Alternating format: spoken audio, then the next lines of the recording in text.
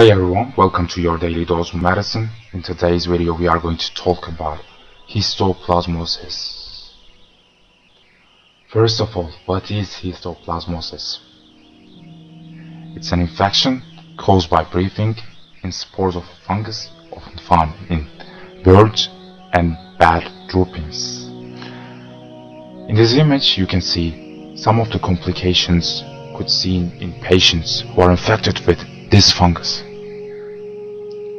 And in this map you can see outbreak locations in United States. And these spores are found in soil and in the droppings of bats and birds. And this fungus mainly grows in central, southeastern and mid-Atlantic states. It is common among AIDS patients because of their suppressed immunity And the fungus is thermally dimorphic. In the environment grows as a brownish mycelium and at body temperature it morphs into a yeast.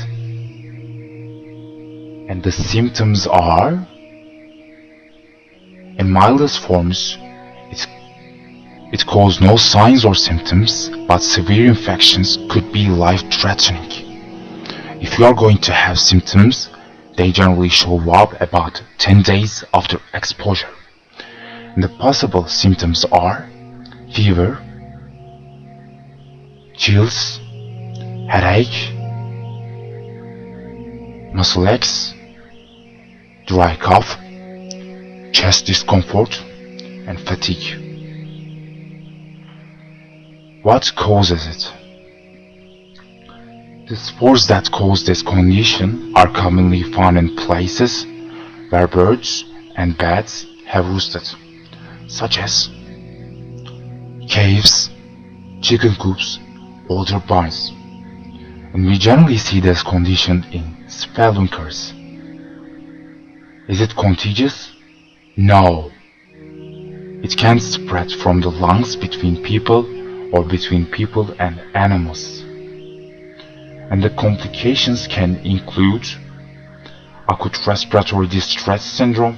In this condition, if your lungs fill with fluid, it can lead low levels of oxygen in your blood. And it can also cause heart problems, adrenal insufficiency, and this infection can damage your adrenals and may cause problems with hormone production.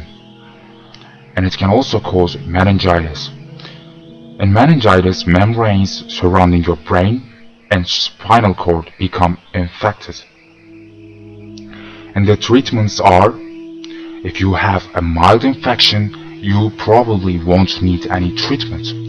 But in severe infections, itraconazole is one type of antifungal medication that is commonly also used to treat histoplasmosis and depending on the severity of infection and the person's immune status, the course of treatment can range from 3 months to 1 year. And this wraps up the whole video.